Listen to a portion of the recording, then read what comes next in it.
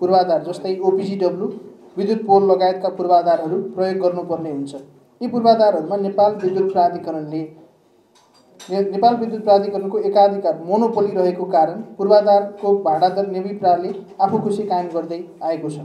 नेपाल विद्युत प्राधिकरणले एकातर्फी रूपमा विद्युत नियमन आयोगसँग नेपाल दूरसञ्चार प्राधिकरणसँग उपभोक्ताका प्रतिनिधिज्यूहरूसँग जस्तै उपभोक्ता मञ्च सेवा प्रदायक सबैलाई व्यवस्था गरी ओपिजिडब्ल्यू पोलको भाडा छ सयदेखि सात सय प्रतिशतसम्म अचाकले वृद्धि गरेको छ। तत्पश्चात उक्त भाडा दरको भार उपभोक्तामा पर्न जाने हुनाले र डिजिटल नेपालको मर्म विपरीत भएकोले राज्यको उच्चस्तरीय समिति गठन भई प्रतिवेदन दिएको थियो जसमा नेपाल विद्युत प्राधिकरण आफैले सही छाप गरेको भए तापनि नेपाल विद्युत प्राधिकरणले उक्त प्रतिवेदन कार्यान्वयन गर्न मानेको छैन। प्रतिवेदन अनुसार कार्य नगरी ने, नेपाल विद्युत प्राधिकरणले पुरानै बढेको दर रेटको भाडा भुक्तानी गर्न र सोही रेट अनुसार नेपाल विद्युत प्राधिकरणले पुरानो बढेको दर रेटको भाडा बुझाउन र बढेकै दर रेटको भाडा तिर्ने आत्मघाती सम्झौता गर्न दबाब दिइरहेको छ। नेपाल विद्युत प्राधिकरणले भाडाकै न्युमा इन्टरनेट सेवा प्रदायकहरूको डेटा सेन्टर अपरेसन पोइन्टमा विद्युत लाइन काट्ने सेवा प्रदायकहरूले नियमित विद्युत महसुल भुक्तानी गर्दा गर्दै अवस्था छ। इन्टरनेट सेवा प्र प्रवाह गर्ने तार छानी छानी काट्ने कार्य तीव्रताका साथ देशका विभिन्न ठाउँहरूमा निर्वाध रूपले अघि बढिरहेका छन्। यसरी नेपाल विद्युत प्राधिकरणले अति आवश्यक इन्टरनेट सेवा अवरोध गरी रहँदा उत्पन्न स्थितिको सम्पूर्ण जिम्मेवारी उत्पन्न स्थितिको सम्पूर्ण जिम्मेवारी नेपाल विद्युत प्राधिकरणले नै लिनुपर्ने यसै विज्ञप्ति मार्फत जानकारी गराउँदछु।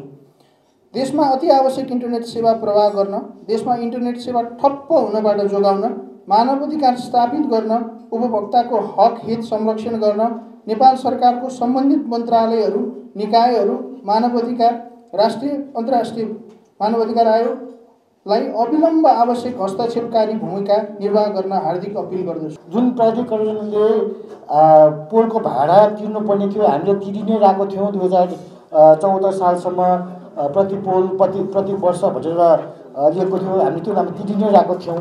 तर एक्कासी चाहिँ सात सय प्रतिशतसम्म हामीले त्यहाँ तपाईँले के कम्पेरिजन चार्ट पनि दिएका छौँ त्यो बढाएको स्थितिमा चाहिँ हाम्रो डिस्प्युट भयो।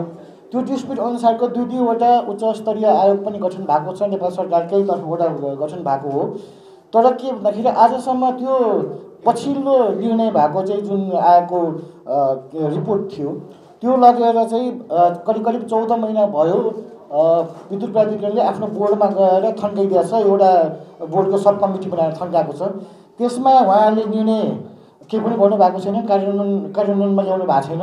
त्यसमा चाहिँ के पनि भने त्यो रिपोर्टमा के पनि भनेको छ भन्दाखेरि विद्युत प्राधिकरणले चाहिँ जुन यो सञ्चार सम्बन्धी कामहरू गर्दाखेरि लाइसेन्स नलिकन गरिरहेको स्थितिमा विद्युत प्राधिकरणलाई पनि नियमन निकायबाट नेपाल दूरसञ्चार प्राधिकरणबाट चाहिँ दूरसञ्चार सेवाको लागि भनेर एउटा लिनुपर्ने लाइसेन्स लिनुपर्ने र त्यो लाइसेन्स लिएपछि अनि उसले आफ्नो सेवाहरू जस्तै ओपिजिडब्लु अप्टिकल फाइबर त्यसपछि पोलका कुराहरू भाडाहरू त्यो चाहिँ एनटिएबाट दूरसञ्चार प्राधिकरणबाट पास गराएर होइन उसले त्यहाँनिर प्रुभ गर्न सक्नु पऱ्यो कि मेरो पैसा यति पर्छ भनेर।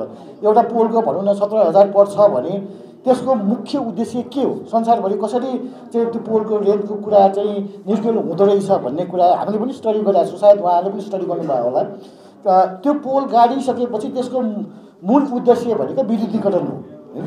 त्यसमा चाहिँ अब जुन सत्र हजार अठार हजार पर्छ एउटा पोलको मूल उद्देश्य विद्युतीकरण भएको हुनाले नब्बे प्रतिशत चाहिँ विद्युतीकरणमै त्यो पोलको पैसा उठिसकेको छ किनभने जुन महसुल उसले उठाउँछ होइन? त्यो पैसा त्यहाँ जोडिँदै सकिया छ। र कसैको सामान राज्यको पनि सम्पत्ति हामीले चाहिँ फ्रीमा चलाउनु पाउँछौँ भन्ने हाम्रो डिमान्ड हुँदै होइन। तर के भन्दाखेरि त्यसको उचित मूल्य राख्यो भने चाहिँ दियो भने हामी पनि तिर्न तयार छौँ तिरि नै रहेको थियौँ होइन? त्यो बिचमा अवरोध मात्रै भएको हो यो के भन्छ उहाँले एक्कासी बढाएपछि। तर के भन्दाखेरि उहाँहरूले त्यो मूल्य कुन चाहिँ के भन्छ प्राधिकरणबाट या समितिबाट जस्तो विद्युत महसुल बढाउनु पऱ्यो भने विद्युत महसुल नियमन आएको छ होइन?